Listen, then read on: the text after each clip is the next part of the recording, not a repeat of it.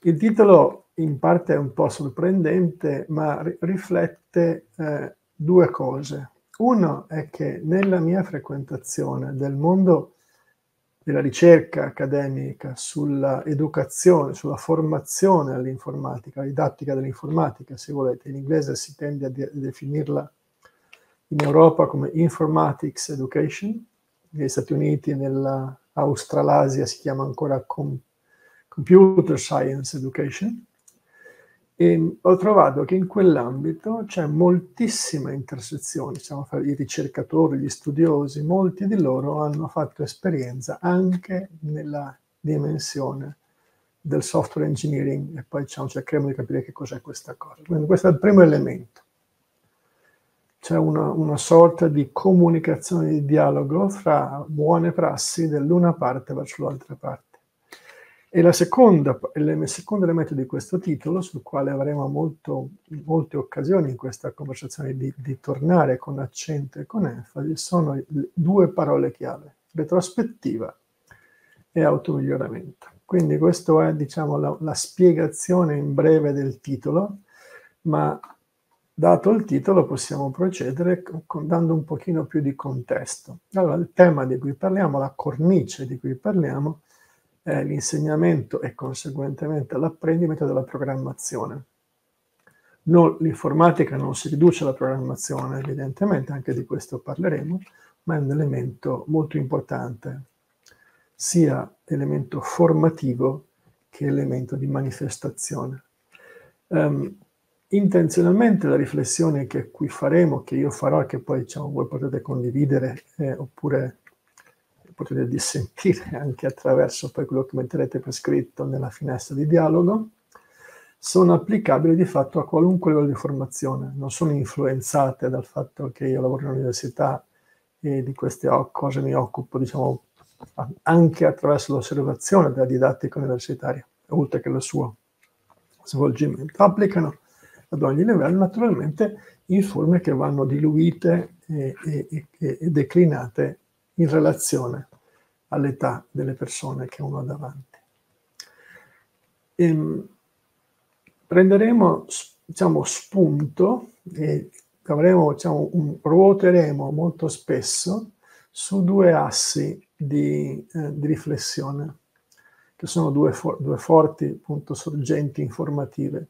Una, come vi ho detto, la trasposizione di pra- pratiche molto proficue che sono, che sono consolidate nel, nel dominio ingegnere software e l'altra è la comprensione che è, è, comincia ad essere diciamo, del mondo della scienza eh, sufficientemente avanzata e, e, e, consolidata di come funziona l'apprendimento. Quindi terremo conto, discutendone, di questi due elementi. E la cosa, diciamo, su cui eh, ruoterà un po' della motivazione della discussione è la presenza degli errori e la presa in carico degli errori.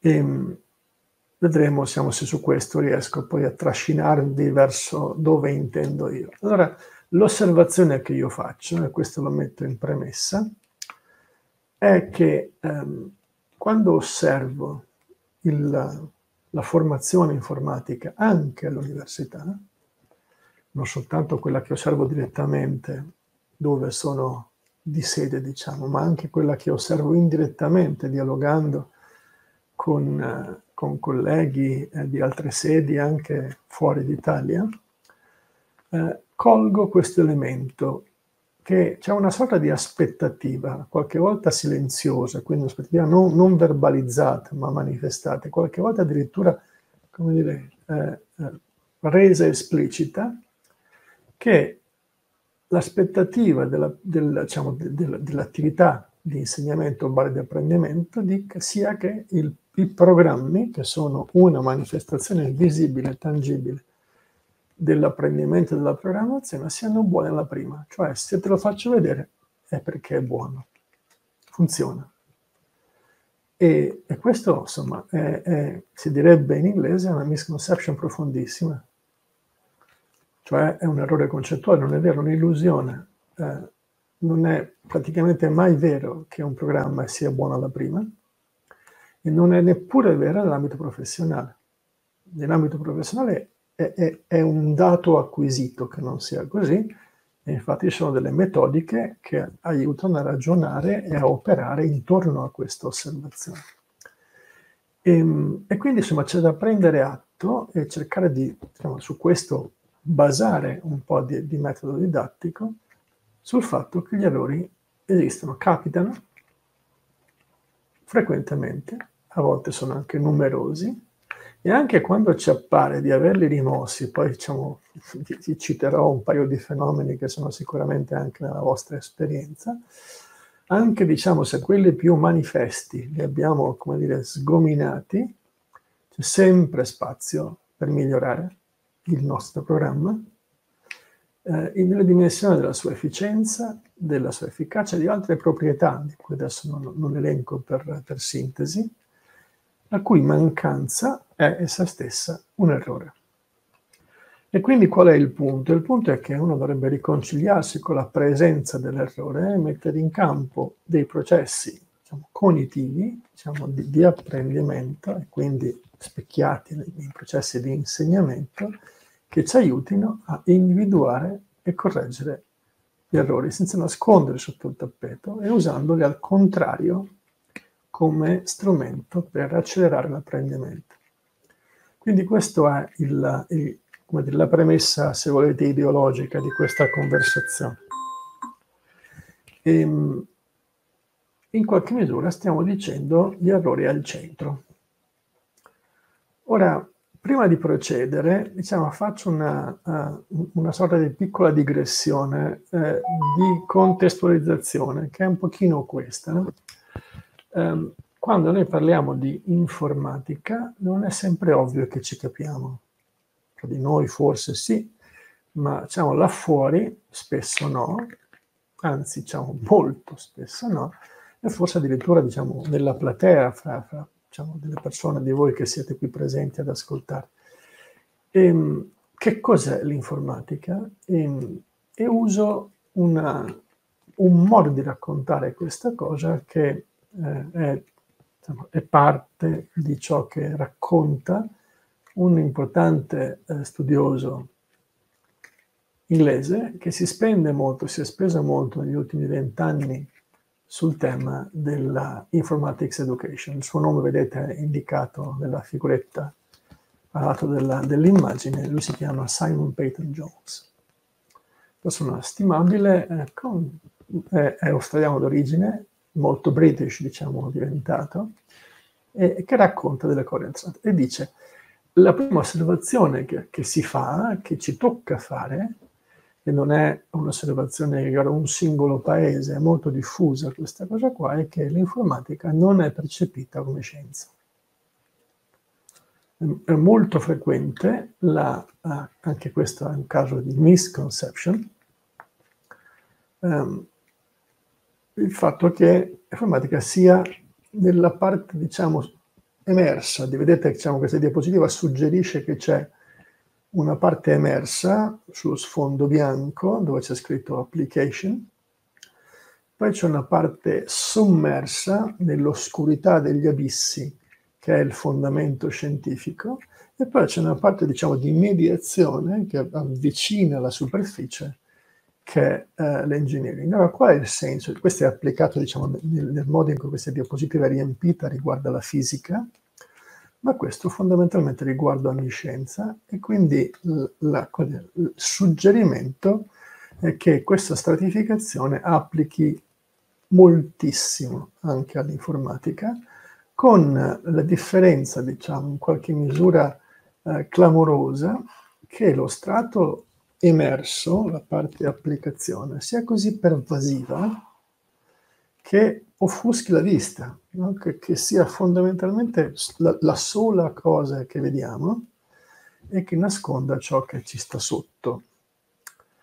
E, e quindi um, l'esercizio, diciamo, che, sul quale spenderei diciamo, qualche momento di riflessione, ciascuno, invitando ciascuno di voi a riflettere su se stesso, non c'è spazio qui per fare un dialogo, è considerare questa cosa qua, cioè che quell'immagine, quella stratificazione che in alto in alto ha le applicazioni, in basso in basso ai fondamenti scientifici e in mezzo all'engineering, cosa significa? Cioè la trasformazione dei, dei fondamenti scientifici in modalità di utilizzazione, no? quindi la traduzione della scienza in pratica, um, che è l'engineering, in ogni, in ogni sua manifestazione, come questa cosa applichi all'informatica. Uh, in qualche misura per l'informatica il percorso per capire i suoi fondamenti scientifici è un percorso diciamo da palombaro, hm?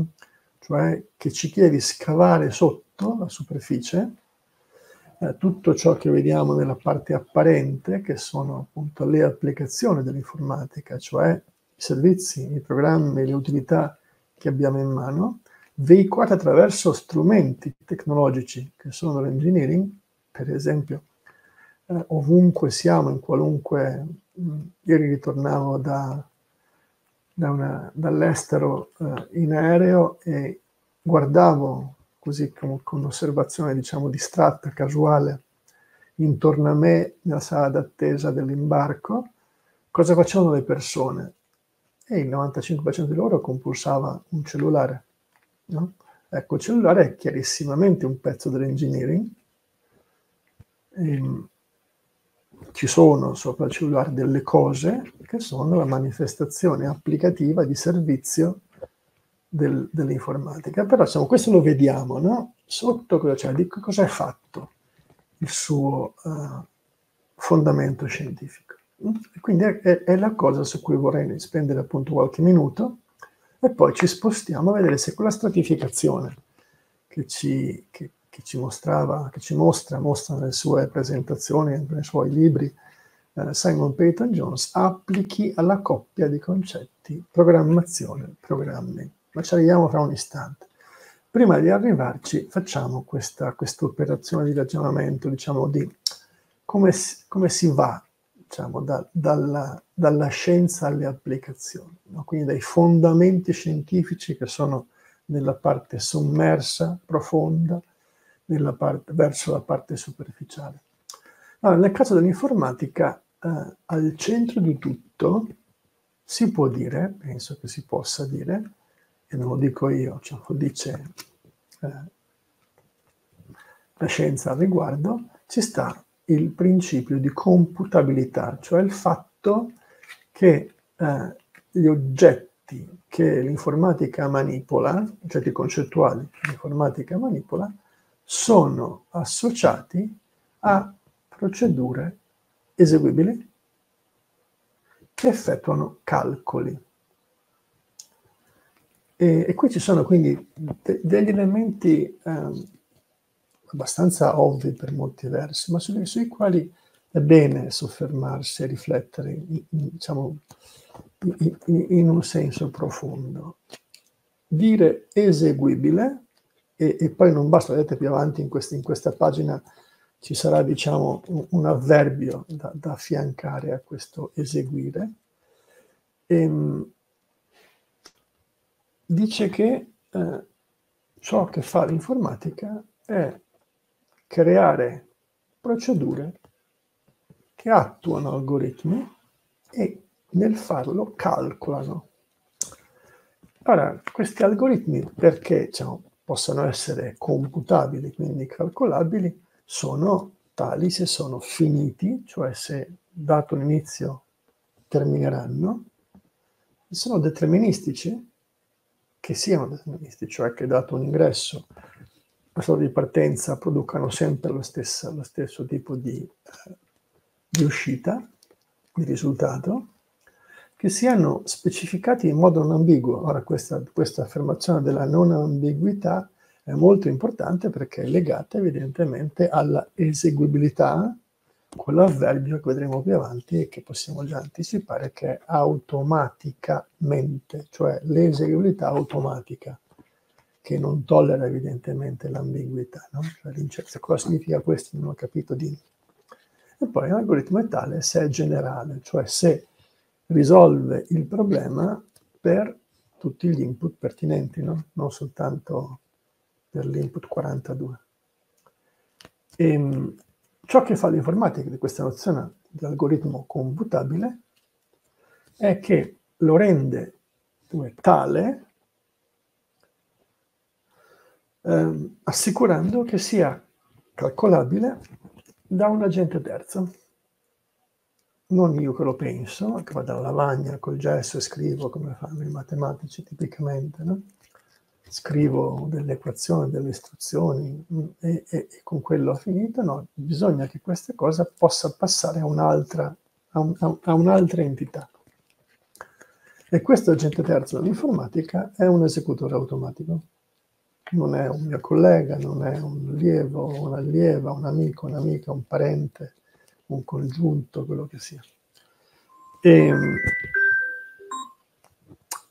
e quindi possiamo definire, vedete il testo in corsivo prova a dire in una formula molto rapida che l'informatica è una scienza e che la sua specialità è fare la cosa che dice la seconda parte di quella frase, risolvere problemi creando algoritmi codificati, questo è un termine diciamo sofisticato intenzionalmente, in linguaggi eseguibili automaticamente. No? Quindi c'è la nozione di esecuzione, c'è la nozione di, auto, diciamo, di, esecuzione automatica che porta tutti gli altri obiettivi che, che vi raccontavo.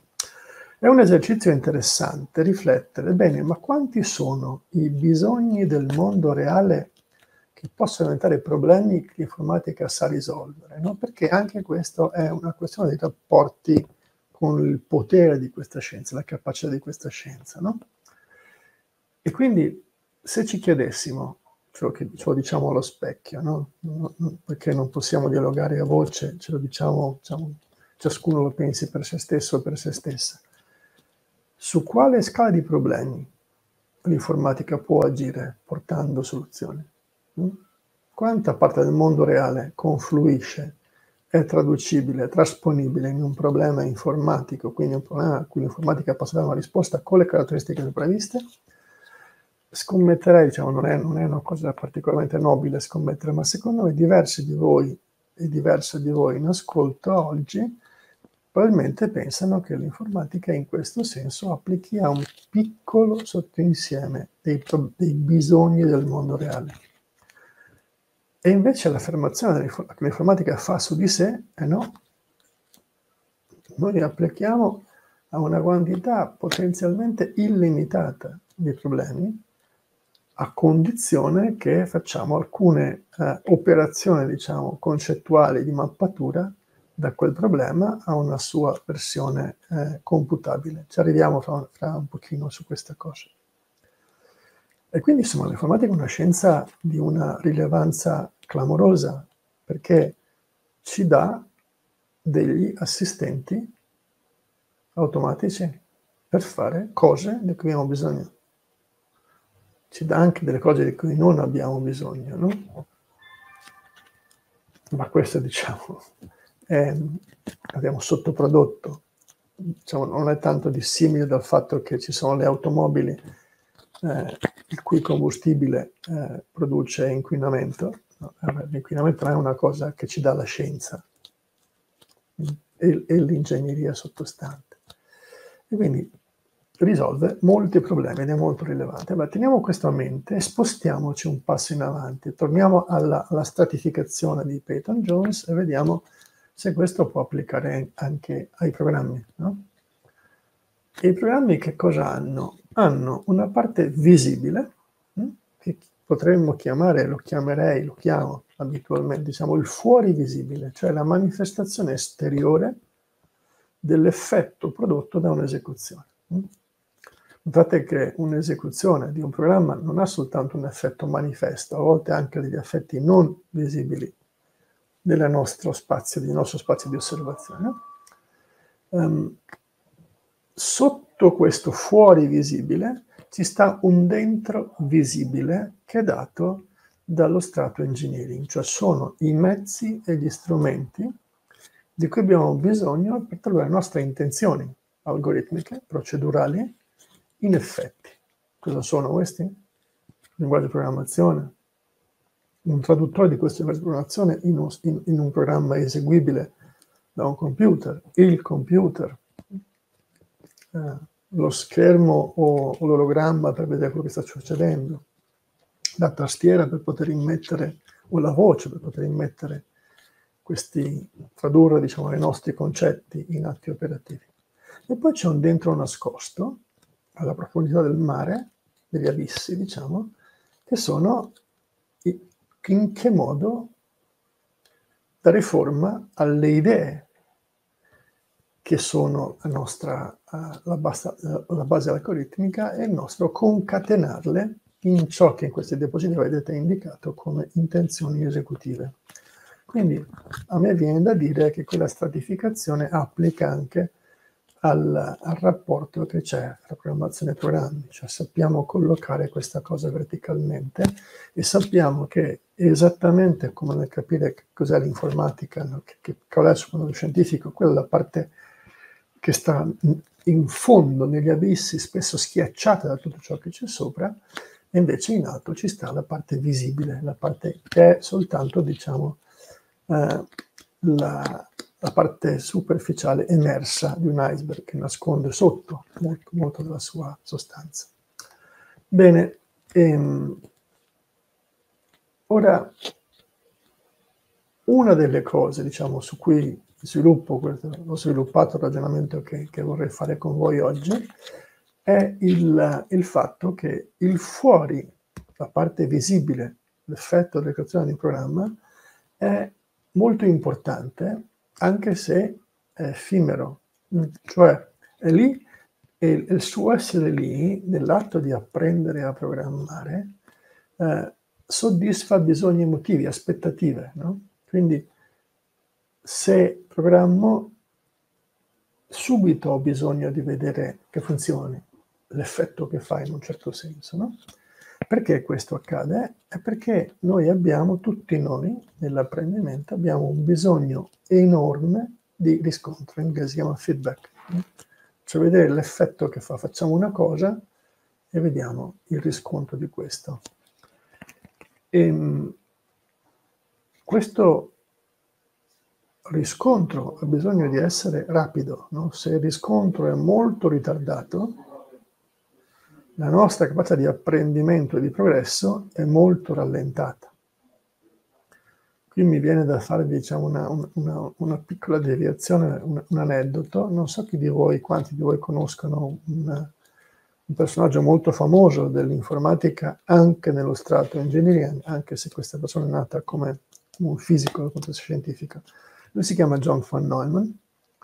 Eh, appare eh, per, proprio in modo impercettibile anche nel filmone, se l'avete visto, quello su Oppenheimer, quello recente, molto impressionante, molto ricco, molto denso di contenuti.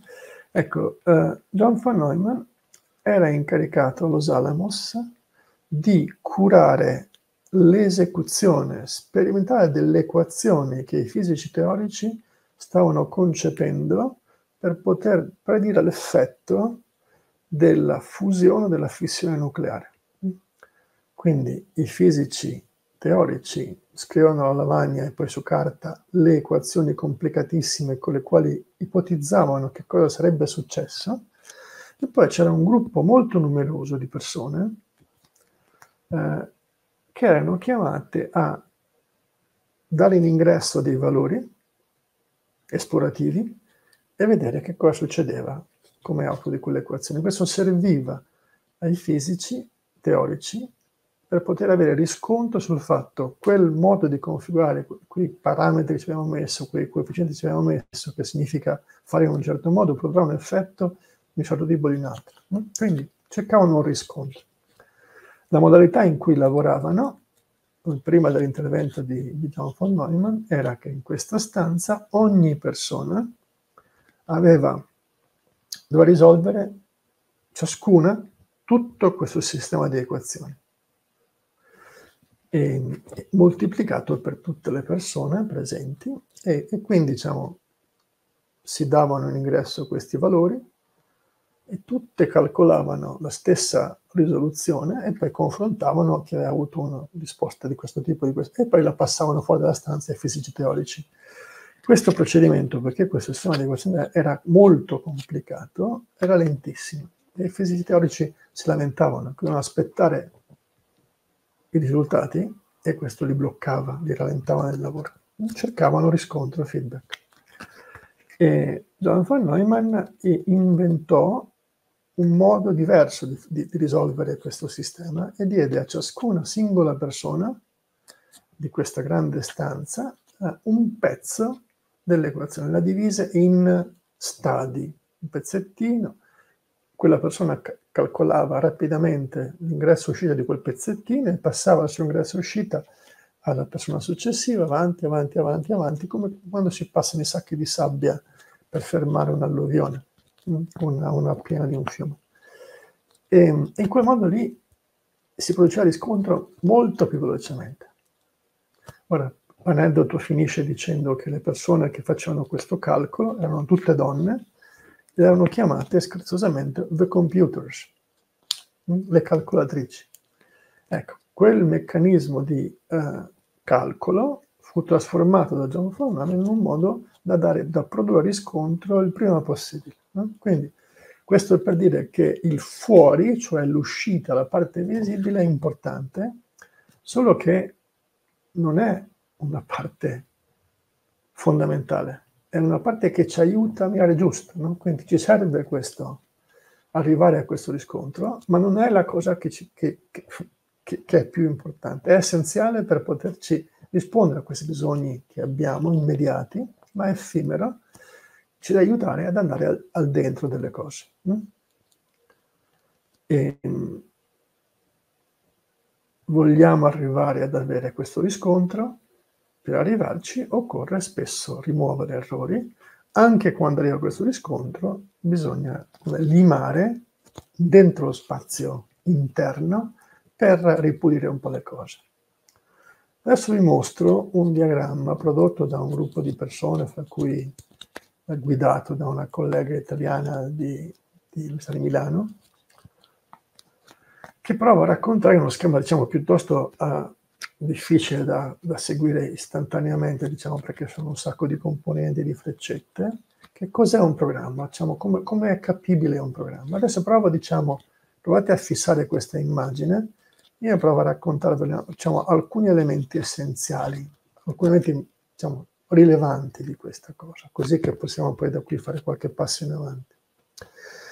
Allora vedete che eh, in alto a sinistra di questa immagine ci stanno dati digitalmente codificati. Quindi, poiché l'informatica si basa sul principio di computabilità e la computabilità è fare calcoli, ha bisogno di numeri e questi numeri li si ottengono facendo una, eh, creando una corrispondenza bionivoca fra i dati del problema e numeri che li rappresentino.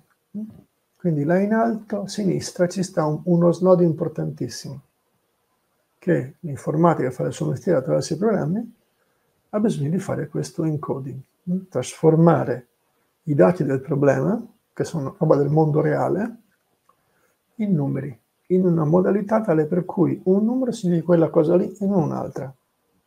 E dato quel numero capisco quella cosa, dato quella cosa ho quel numero.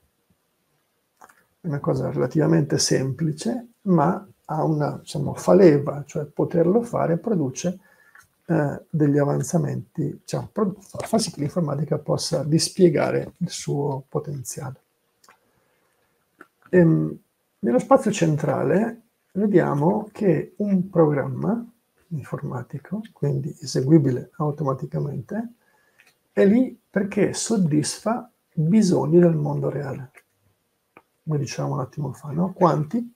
Tantissimi, tutti quelli per i quali sia possibile individuare l'informazione significativa, vedete in basso, sotto, verticalmente sotto bisogni del mondo reale, sui quali fare encoding. Dato questa rappresentazione, questa codifica, ciò che fa un programma è eh, trasforma, diciamo, crea una soluzione computabile, eseguibile, che è il programma che risolve in un modo computazionale quel particolare problema. Quindi queste sono le cose che um, ci interessa sottolineare, no?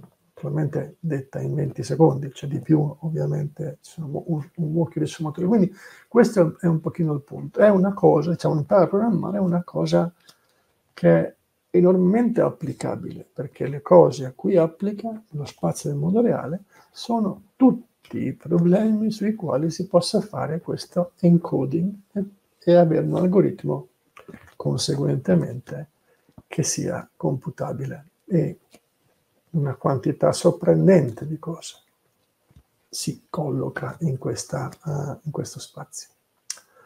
Bene, allora torniamo alla questione del riscontro e degli errori. Gli errori stanno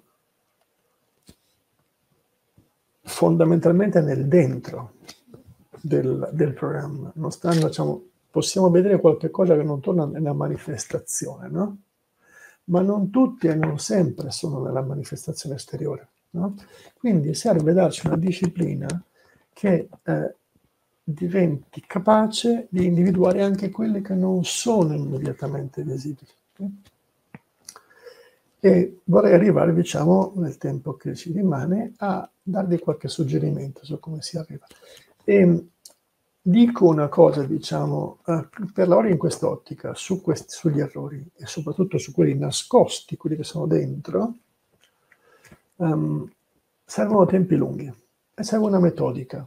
Quindi due, due elementi importanti. Tempi lunghi, e quindi nel modo in cui insegniamo, nel modo in cui si apprende, servono tempi dilatati, che sono chiaramente non compatibile con i tempi d'aula, hanno bisogno di andare oltre il tempo d'aula, e dei protocolli.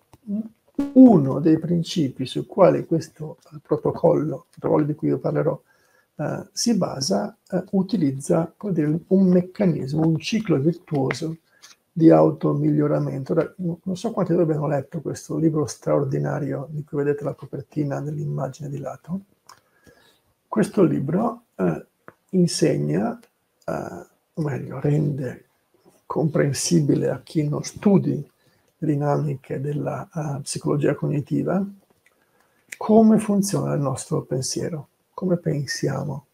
E ci, questo libro ci spiega, usando terminologia abbastanza semplice, che il nostro sistema di pensiero fondamentalmente opera su due livelli, hm, chiamati sistema 1, diciamo, che è molto veloce nel suo effetto um, e che si dice essere associativo, cioè che faccia corrispondere delle situazioni a delle risposte in un modo sostanzialmente meccanico e quindi è la parte nostra animale, se volete, no? quella che, che serve per reagire istantaneamente, rapidamente.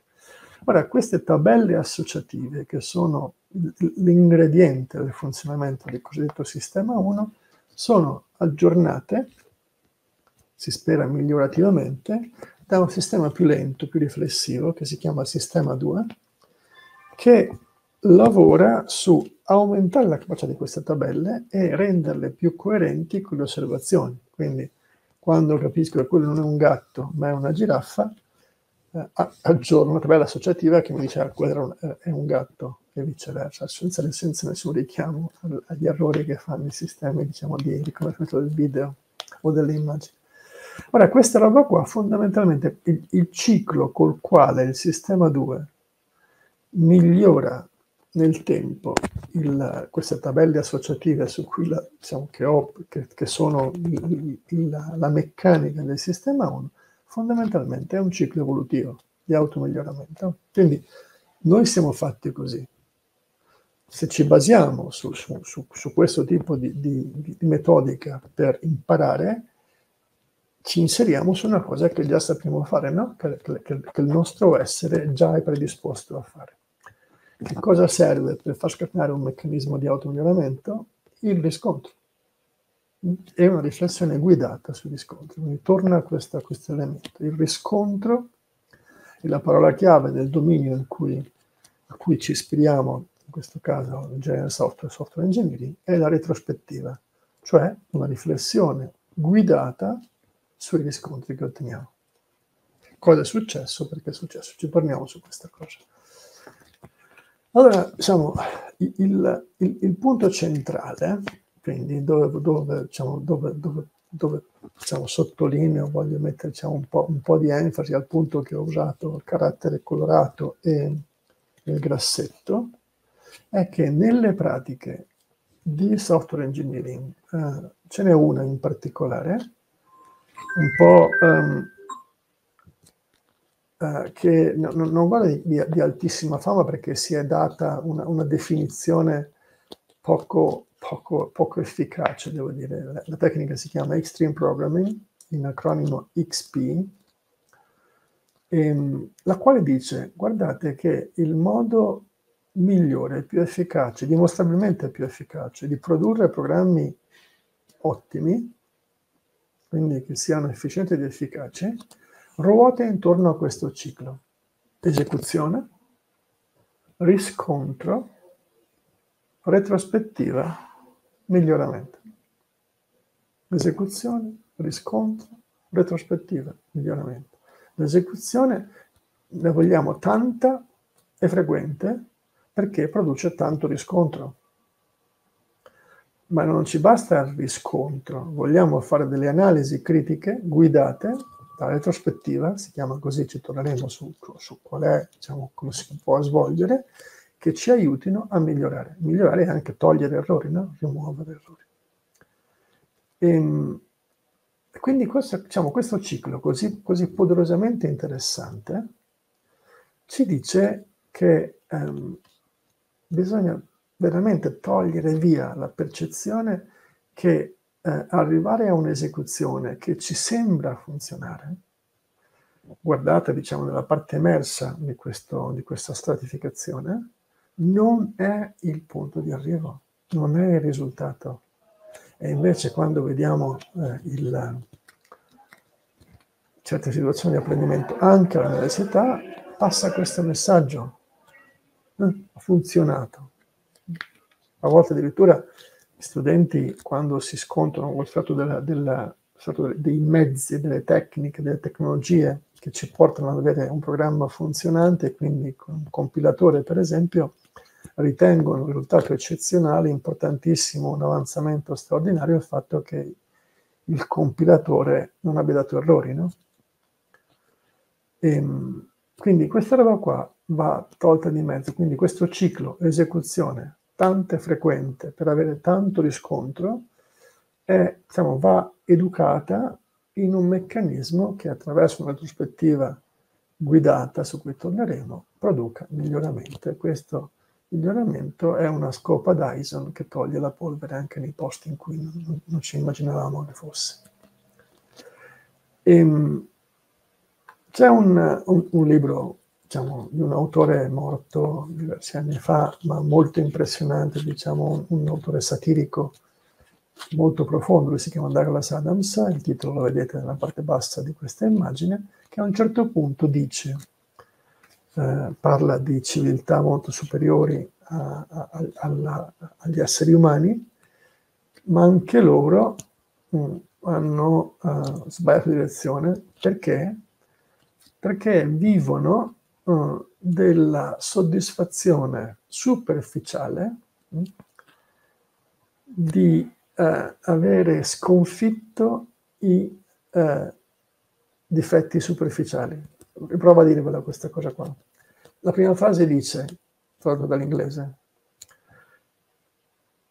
neanche ci accorgiamo, hm? siamo accecati alla profondissima, fondamentale inutilità del programma che abbiamo scritto, dell'applicazione che abbiamo creato,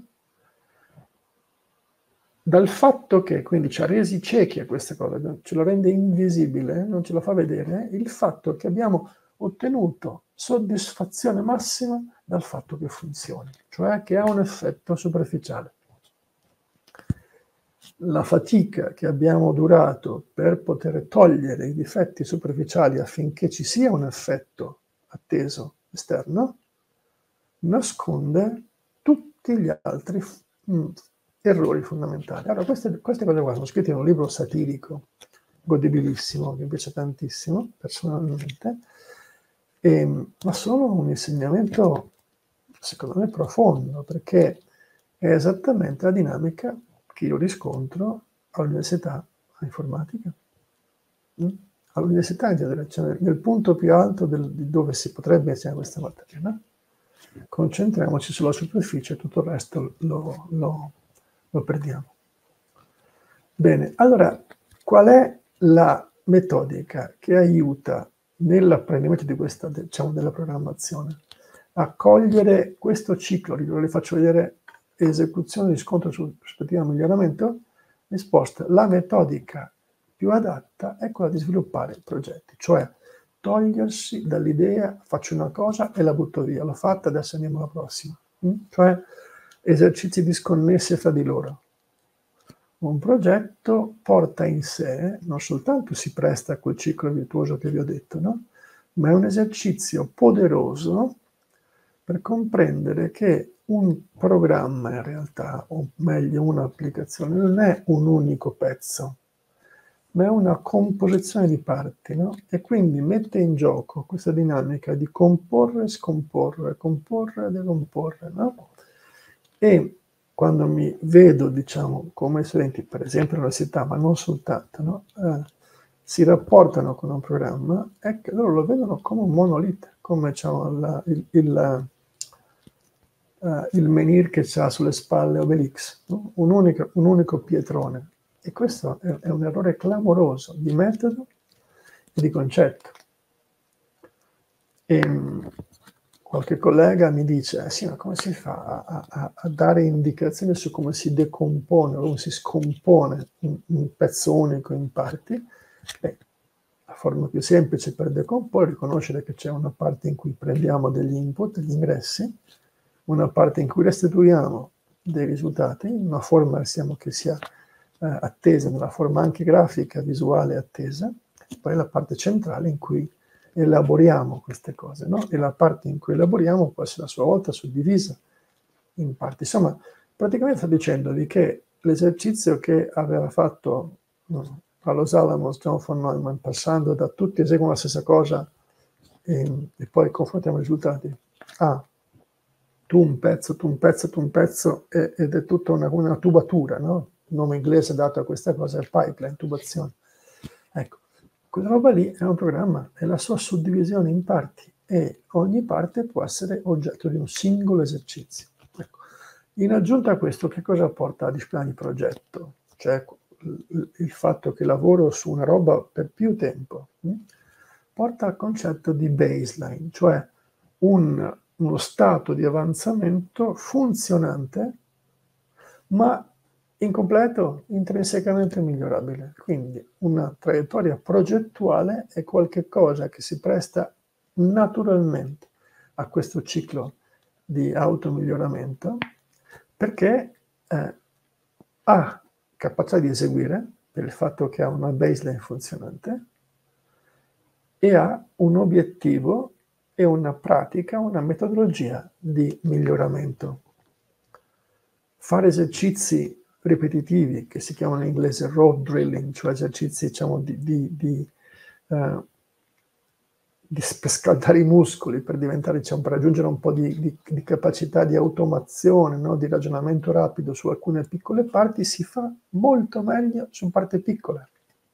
Ma queste parti piccole, se sono, le butto via una volta che le ho fatte, non mi interessano più, non ci aiutano a, a entrare in questo ciclo di automiglioramento. No? E quindi è utile che siano pezzi che poi si ricompongono per fare qualcosa di più complicato, no? come comporre attraverso dei Lego. E questa idea no? che si eh, produca una se- nel medio-lungo periodo, hm? quindi naturalmente con molta parte fuori dell'aula, si producono dei pezzi di soluzione hm? delle parti e que- ogni volta che arrivo diciamo, ho una, un aggregato a quell'istante funzionante, insomma, come faccio ad arrivarci? La risposta è che lasciamo in questo aggregato inizialmente funzionante, poi diciamo migliorabile, per ottenere al presto possibile un'esecuzione che ci dà riscontro, ci lasciamo quello che si chiama nel gergo del dominio a cui faccio riferimento, si chiama debito tecnico, cioè limitazioni in, nella storia del programma che non gli impediscono di eseguire, ma che non sono la soluzione finale.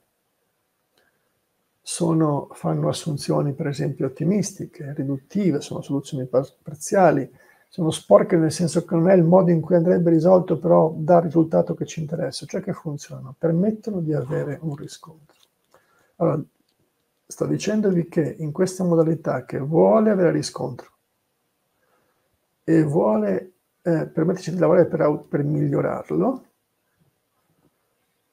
è inevitabile e si trasforma in un valore avere debito tecnico, cioè lasciare cose che non sono finite per poter procedere e avere riscontro di un'esecuzione che dice sono sulla direzione giusta, adesso cosa devo andare a fare per, per poterli migliorare, per poter fare um, emersione di riscontro rapido e frequente. Allora, il debito tecnico è una cosa, diciamo, eh, interessante dal punto di vista concettuale, perché ehm, in una rappresentazione che tenta di essere eh, eh, ampia e metodica, diciamo, eh, ci sono quattro quadranti, diciamo, di dove si può collocare un atteggiamento rispetto a questo debito tecnico. Provo a ridefinirlo. Debito tecnico è abbiamo una soluzione funzionante, ma che sappiamo diciamo, che è venuta fuori per il fatto che cercavamo riscontro, quindi un'esecuzione, per avere appunto, vedere come le cose andavano, ma per arrivarci rapidamente abbiamo tagliato le curve, no? Abbiamo, sì, questo caso non lo trattiamo, ci pensiamo dopo. Questa cosa qua, sì, è vero che se l'input fosse negativo ci sarebbe un problema, andiamo avanti lo stesso. Ecco, questa roba qua lascia il debito tecnico, che è un debito come tutti i debiti da saldare perché un debito non saldato poi magari con gli interessi cresce e ci fa, uh, ci fa del danno. Allora ci sono questi quattro quadranti che, ra- che, che, che rappresentano il modo in cui le persone, l'individuo si colloca eh, rispetto que- alla, alla, presenza di debito tecnico. Um, il debito tecnico, se guardiamo verticalmente, può essere inserito consapevolmente oppure inconsapevolmente. Quindi so che c'è, non so che c'è. Naturalmente entrambe, ci sono entrambe le possibilità. E poi se guardiamo orizzontalmente, ci sono due atteggiamenti. L'atteggiamento di chi è prudente e l'atteggiamento di chi invece è, si dice in inglese, reckless, cioè non è prudente, è, è imprudente fondamentalmente, fino al punto di essere eh, un po' troppo avventuroso. Ora, il, la, il, posizionamento su quei quadranti dice che il peggio possibile è essere nel quadrante in alto a sinistra, no? dove rispetto al lasciare il bibliotecnico intenzionale, io ho l'atteggiamento non c'è tempo, lascia perdere, andiamo avanti. Mm?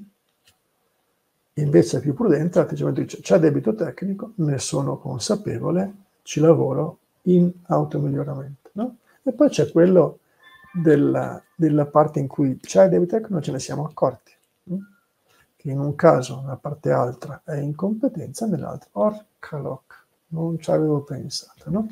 Non vogliamo essere nella condizione, diciamo, del non ce ne siamo accorti, vogliamo lavorare in quell'ottica. Ecco, il, il muoversi in questo quadrante, andando nella versione, diciamo, l'unica che ci interessa, quella bassa a, a sinistra, che è quella della consapevolezza, c'è una malattia tra le tante da evitare che è il um, buttare via e rifaccio, butto via e rifaccio. Quando si osserva il modo col quale studenti anche di età molto, molto, molto piccola, diciamo le scuole primarie per esempio, si confrontano con un programma non funzionante, è che lo buttano via e lo rifanno. Butto via rifaccio, butto via rifaccio. Butto via rifaccio esattamente il contrario di questo ciclo virtuoso che vi dicevo. E, ehm, allora, perché questa cosa qua aiuta? E stiamo eh, avviandoci verso la fine, diciamo, di quello che volevo dirvi oggi. Um, funziona sappiamo che funziona perché stiamo, diciamo, la scienza ha imparato, ha osservato, è riuscito diciamo, a sistematizzare la sua comprensione di come funziona il nostro apprendimento. Vedete il titolo di un libro abbastanza famoso anch'esso, che dice come funziona l'apprendimento, eh, dice, dice, alcune cose, ne, ne mostro due.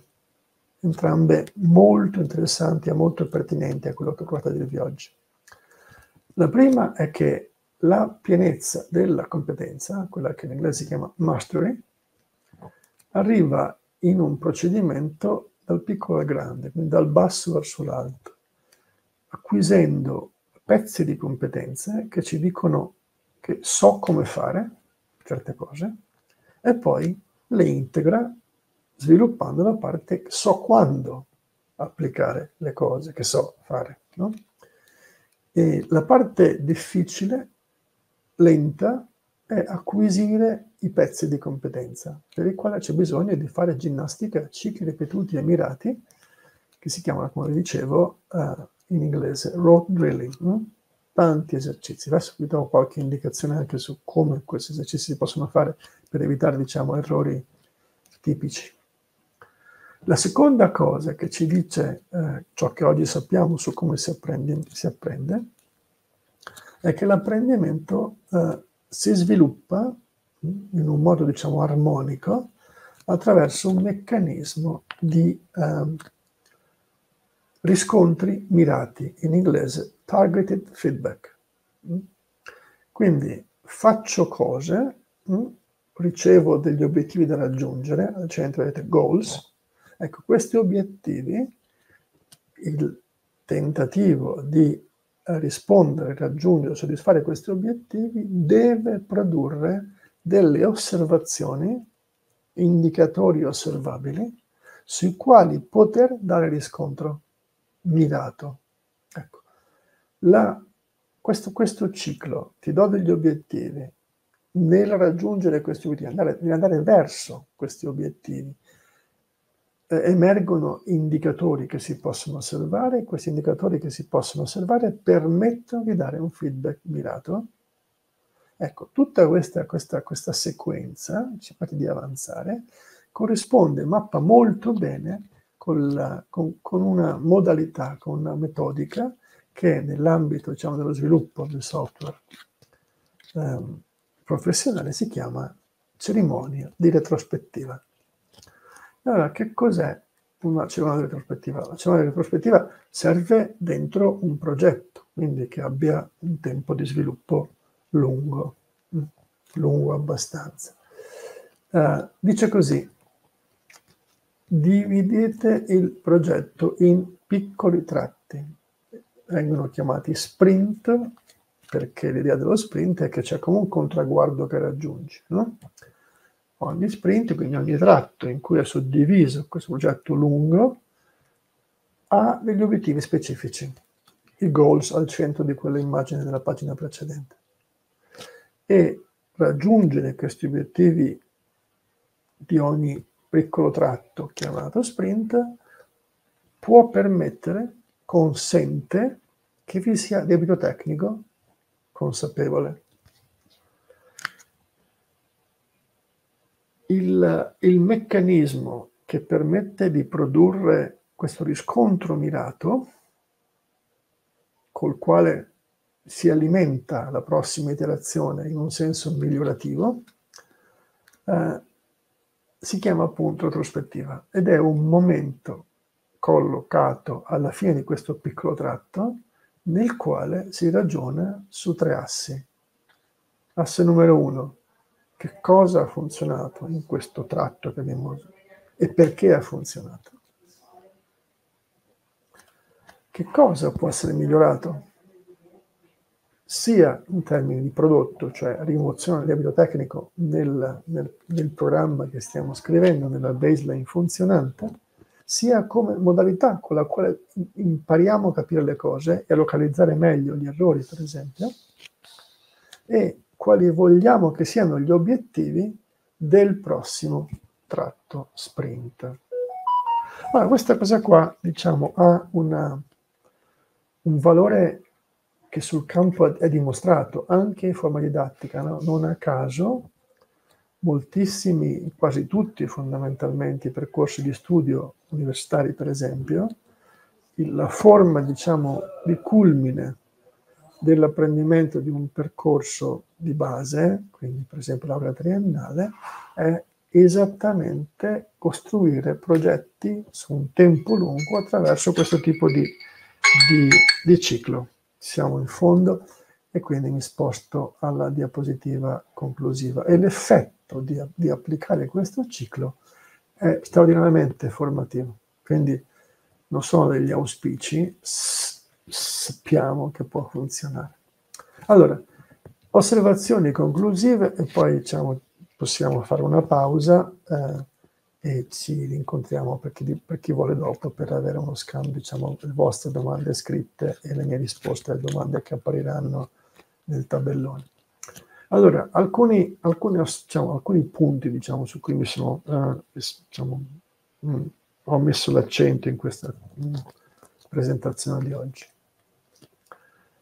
Che ehm, meglio darsi tempi lunghi che vanno al di là dell'aula e che ci diciamo, mettono via, che cestinano il fare cose che finiscono nel cestino. Ce l'ho fatta, va bene, next, prossimo. Ma quello che ho fatto è stato soltanto per smarcare il fatto che lo, che lo fatto. E ehm, questo allungare i tempi per poter mettere in, in, in, in atto questo ciclo, esecuzione, riscontro, aspettativa, miglioramento, eh, sta molto bene, sta a casa dentro lo sviluppo di un progetto. E che è fatto di comporre pezzi, no? di riconoscere le parti di un problema più complicato, che non deve essere per forza molto complicato, ma che è fatto di parti, lavorando individualmente sulle parti in una forma tale che si possa avere un'esecuzione che ci dia riscontro, piuttosto che nell'accumulo sulla scrivania o nel cestino sulla scrivania di eh, cose fatte ma che non si compongono, no? in cui non le vedo insieme, vedo questa, poi vedo quest'altra, poi vedo quest'altra. E, ehm, questa modalità incentiva, perché produce riscontro, perché porta a esecuzione, eh, aiuta l'apprendimento.